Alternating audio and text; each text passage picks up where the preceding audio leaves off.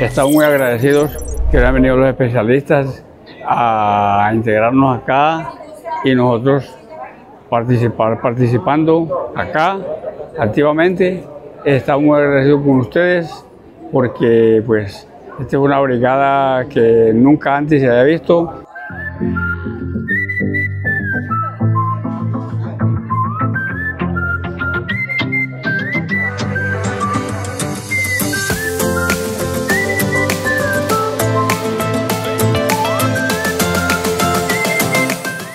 Bueno, hoy la Administración Municipal de Puerto Boyacá, en cabeza del señor John Faber Urrea, en alianza estratégica con nuestros amigos de la Fuerza Aérea Colombiana, realizamos la primera jornada integral de especialistas dirigida a nuestros adultos mayores. Un agradecimiento muy especial a la Fuerza Aérea Colombiana que se vincula y a todo el personal a través de la Secretaría de Desarrollo Social y Comunitario